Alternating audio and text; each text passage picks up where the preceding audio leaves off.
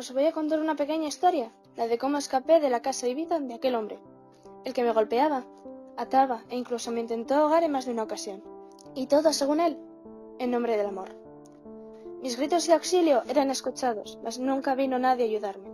No sé si fue por temor o porque realmente no les importaba que sufriera. La única respuesta por parte de mis vecinos era el silencio. Perdí la cuenta de todas las veces que intenté escapar de esa cárcel, o como él lo llamaba, nuestro hogar. Veía todo tipo de cosas que podían haberme liberado de mi sufrimiento, pero debía ser muy cuidadosa, o acabaría muerta en sus manos. Merecía salvarme. Nunca había hecho nada para lo que sufrí.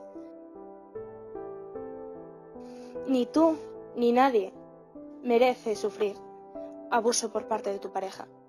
Cuenta la historia.